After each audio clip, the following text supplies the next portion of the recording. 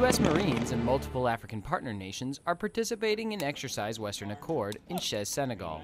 Most engagements take place uh, at short ranges, generally speaking, in modern combat. So being able being able to pivot and move into position and fire under more realistic circumstances than like a known distance range, uh, it, uh, it's highly effective. It's it's training the way you fight.